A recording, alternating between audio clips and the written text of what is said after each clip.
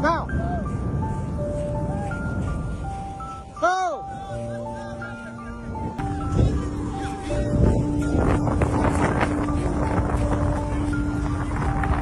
For thousands of years, Mount Etna has put on a spectacular display.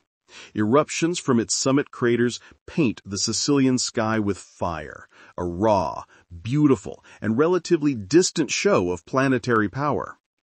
We think we understand this volcano. We watch the summit. But what if we've been looking in the wrong place? What if the volcano itself is changing the rules? A new landmark study has just revealed a terrifying feedback loop hidden deep within Etna's core. The slow, massive deformation of the mountain is no longer just a symptom of its power. It is now actively guiding it. The volcano is tearing itself apart, and in doing so, it is inviting its own magma to erupt in new, far more dangerous locations. Before we explore the details of this shocking discovery, if you find these geological insights critical, please take a moment to like this video and subscribe to Geology Watch. The story begins with the phenomenon we've covered before, flank instability. Etna's entire southeastern flank, a colossal wedge of rock and ancient lava weighing billions of tons, is sliding relentlessly into the Ionian Sea. This mass land deformation is happening at a rate of several centimeters per year. The accepted wisdom was simple. Magma rises deep within the volcano's plumbing, inflating the edifice. This pressure, combined with gravity, pushes the unbuttressed eastern flank, causing it to slide. The magma was the cause, and the slide was the effect. That assumption is only half the story. A new study, published in late 2025, has turned this idea on its head. Using a decade of incredibly precise GPS data, satellite measurements, and powerful computer models, scientists have confirmed a far more complex and dangerous relationship. The sliding of the flank is now creating a zone of weakness.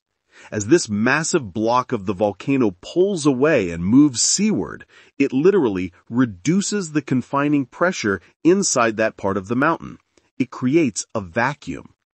Magma, rising from the mantle, always seeks the path of least resistance to the surface. The new study proves that the sliding flank is now creating that path.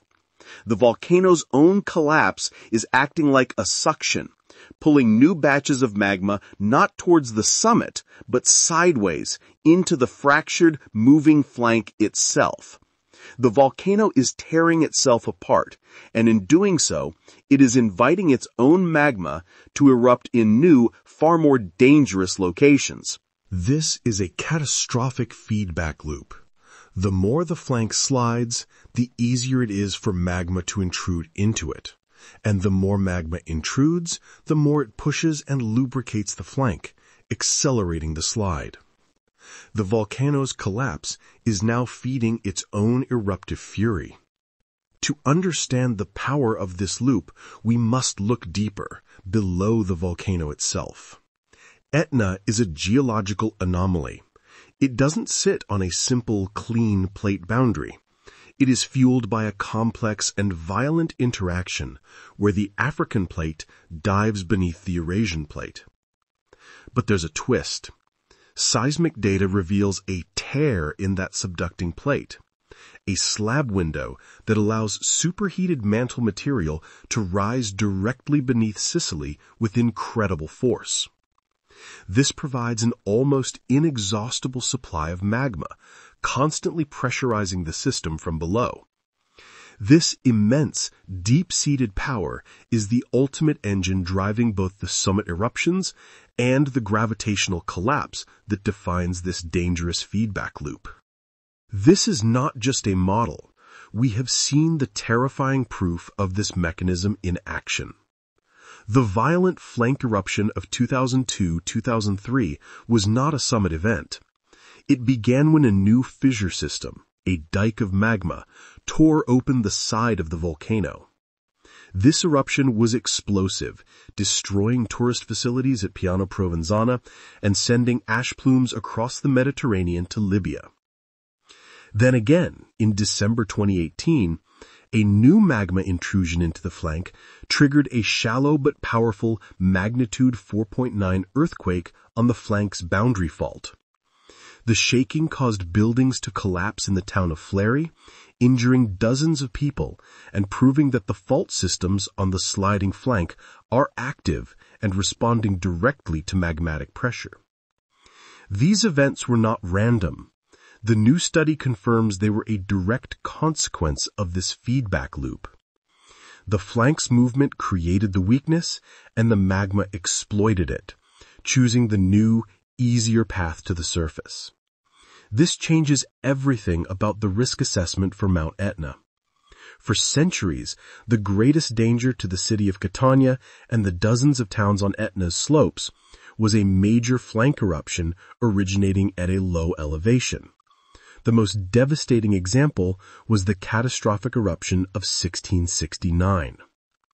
That eruption didn't happen at the summit. A fissure opened on the flank at just 800 meters of elevation, just above the towns. For four months, it poured out a sea of lava. The eruption built a chain of new cinder cones, now known as the Monti Rossi or Red Mountains, just north of the city. The lava flow advanced relentlessly for weeks, a river of fire that overwhelmed a 30-foot high city wall, buried the entire western side of Catania, and pushed the coastline out by more than a kilometer. This historical disaster is the blueprint for what a modern, low elevation flank eruption guided by this newly discovered feedback loop could do. The new research shows that the current flank instability is creating the exact conditions for another 1669 style event. The sliding is pulling the trigger, making it far more likely that the next major eruption will not be a spectacular show at the summit, but a devastating fissure eruption on the volcano's lower slopes, closer to the one million people who live in its shadow. The mass land deformation of Mount Etna is no longer just a long-term risk for a potential tsunami. It has become an active, present-day driver of the volcanic hazard itself.